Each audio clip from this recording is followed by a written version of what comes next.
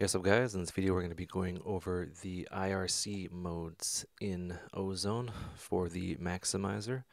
IRC stands for Intelligent Release Control, and what's happening with the maximizer is it's uh, dynamically changing the release time depending on what's being fed into the maximizer. So, uh, like a, a kick snappy transient of a kick or a snare or something, it will react quickly to that. But for like a bass sound, it will react a little bit more slowly.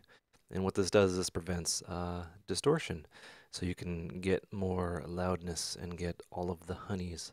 So IRC1 is uh, basically, it's, you know, like the first generation of, uh, of uh, IRC. Um, it reacts just like how I explained it, it reacts quickly to transients and slowly to bass. And uh, yeah, it's uh, quite easy on the CPU and uh, kind of a good starting point. IRC2 is kind of similar, but what it does is it preserves the transients more. Uh, so it sounds, that your track will sound a bit more clear. Um, and used in conjunction with the transient emphasis, you'll get a nice result. So IRC3 is the one used typically for EDM and electronic music. It is the most aggressive. Um, and uh, yeah, you have your four flavors. You have your balanced, your pumping, which is a bit slower.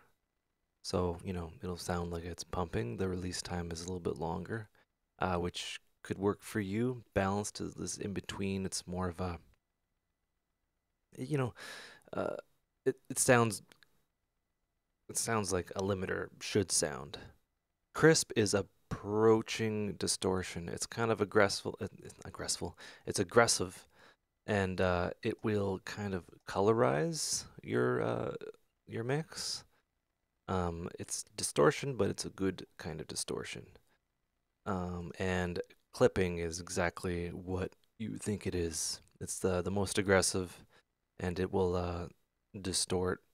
And uh, yeah, it's used quite a bit. And what it does is it just flattens out certain elements, certain bands of uh, your mix, and uh,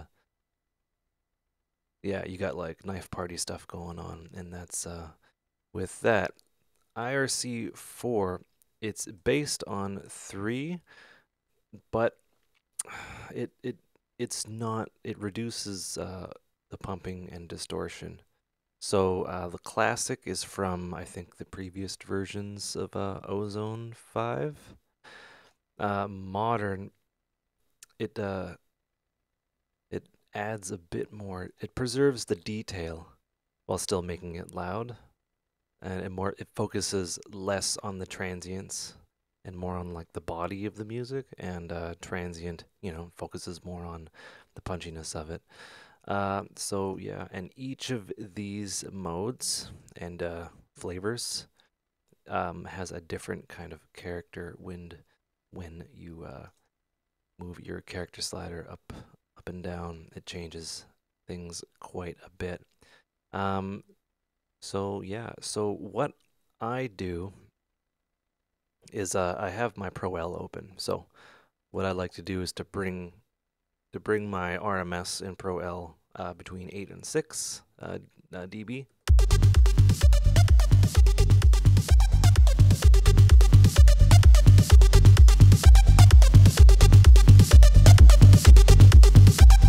Right, so right about now you hear a bit of distortion.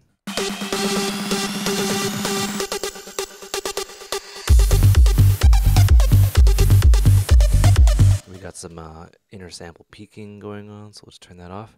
So yeah, I get up to a loudness that is approaching commercial, and then I'll try each kind of mode.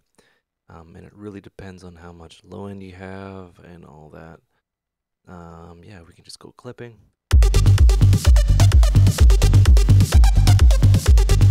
Right, that sounds pretty good with the IRC mode with clipping compared to the same threshold with IRC1.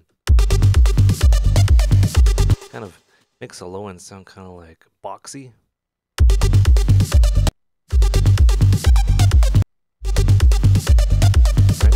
And this is just an example. And uh, of course, you can use 4. Uh, we'll go modern. Uh, this kind of enhances the body.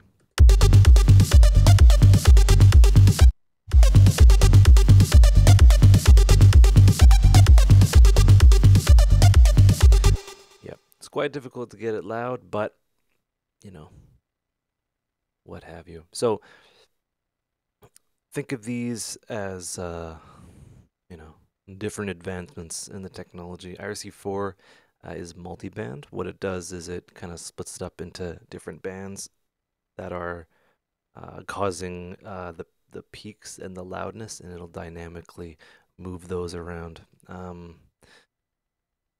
that's basically it. Uh, a lot's going on under the hood. It's exciting. Hope you learned stuff. Take care and have a good one.